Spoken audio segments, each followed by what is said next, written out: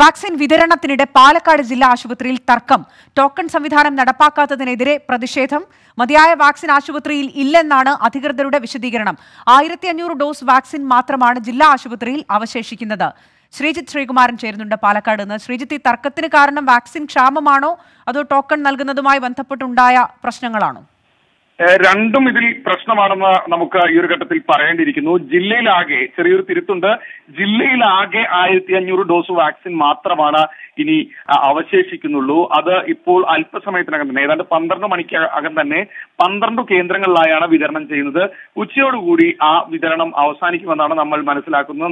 നമ്മൾ അല്പസമയം മുൻപ് ഡി എംഒ കെ എം റീത്തയുമായി സംസാരിച്ചിരുന്നു. അവർ പറഞ്ഞത് ഒരു അയ്യായിരം ഡോസ് വാക്സിൻ കൂടി ഇന്ന് എത്തിക്കാനുള്ള ശ്രമം നടന്നു വരികയാണ്. എറണാകുളത്ത് നിന്ന് അതിനുവേണ്ടിയുള്ള നീക്കങ്ങൾ നടക്കുന്നുണ്ട്. അത് ലഭിച്ചാൽ മാത്രമേ നാളെ രാവിലെ വാക്സിൻ വിതരണം പാലക്കാട് ജില്ലയിൽ ആരംഭിക്കാൻ കഴിയൂ പുനരാരംഭിക്കാൻ കഴിയൂ എന്നൊരു വിവരമാണ് അവർ നൽകുന്നത്. ഇതുമായി ബന്ധപ്പെട്ട് രാവിലെ തന്നെ നിരവധി ആളുകൾക്ക് ടോക്കൺ ലഭിച്ചിരുന്നു. ടോക്കൺ ലഭിക്കാത്തവരും ഇവിടെ എത്തുന്ന ഒരു സാഹചര്യമുണ്ടായി. സ്വാഭാവികമായി ജില്ലാ ആശുപത്രിയിൽ ഇത്രയധികം ആളുകൾ കൂടിയതോടുകൂടി മുൻഗണനാ ക്രമം തെറ്റിച്ചു എന്ന് ആരോപിച്ചാണ് ആളുകൾ പ്രശ്നമുണ്ടാക്കിയത്. പരസ്പരം ആളുകൾ തമ്മിൽ ആ, തർക്കമുണ്ടാകുന്ന ഒരവസ്ഥയും ഉണ്ടായിരുന്നു. അതിനുശേഷമാണ് പിന്നീട് പോലീസ് എത്തി ഇത് പരിഹരിച്ചത്. ഇപ്പോഴും വലിയ നീണ്ട നിര തന്നെ കാണുന്നുണ്ട്. പക്ഷെ ഇവർക്കെല്ലാം തന്നെ വാക്സിൻ ലഭിക്കുമോ എന്ന കാര്യത്തിൽ ഇനിയും സംശയമുണ്ട്. ജില്ലയിൽ ജില്ലയിലാകെ നമ്മൾ നേരത്തെ സൂചിപ്പിച്ച പോലെ ആയിരത്തി അഞ്ഞൂറ് ഡോസ് വാക്സിൻ മാത്രമേ ഇപ്പോൾ നിലവിലുള്ളൂ. അതും ഏതാണ്ട് പന്ത്രണ്ട് മണിയോടുകൂടി തന്നെ കൊടുത്ത് തീരുമെന്നാണ് നമ്മൾ മനസ്സിലാക്കുന്നത്. എന്തായാലും പാലക്കാട് ജില്ലയിൽ വാക്സിൻ ക്ഷാമം